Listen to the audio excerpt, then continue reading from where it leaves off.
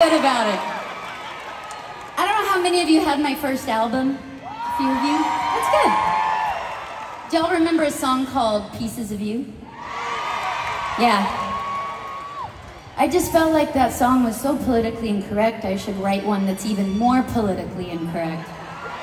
So buckle up. Get out your video cameras. This is gonna be awful. This is a terrible idea. I can't help it though. I'm like a moth to the flame of terrible. so I was in a bar not long ago, and this guy called this other guy the P word.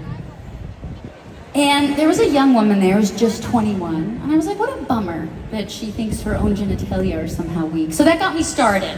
That's just where we're headed with this. I just want to prepare you guys. Buckle in. My pussy ain't weak. Can you handle that? So stop calling him a pussy like that. I don't need young girls to think that even our sex organs are weak. So stop calling him a pussy.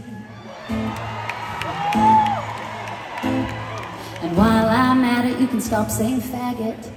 It's time, we really have had it. It takes courage to be alive and be who you are without apologizing. So stop calling him a faggot. Oh, it gets worse. We're gonna insult everybody. Women, you're next. I hear you ladies trash talking men, saying how you hate sexism. I got a boy, he don't need to hear that. Even our sex organs are bad, so oh, let's stop generalizing. Trying to remember it. Here we go. And all you hipsters in your cafe say, why's everybody picking on me? You talk about love and liberty, then say, fuck that redneck from Tennessee. Well, let's stop hating rednecks. Cause that's just the trouble, don't you see? That's just the trouble, hypocrisy. I hate you and you hate me. It's a circle jerk of bigotry.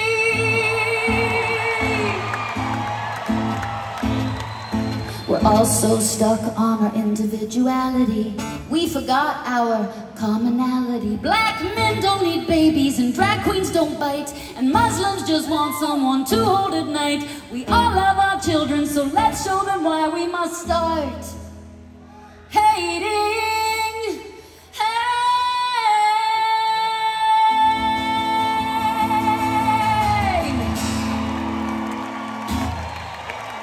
You're welcome, TikTok.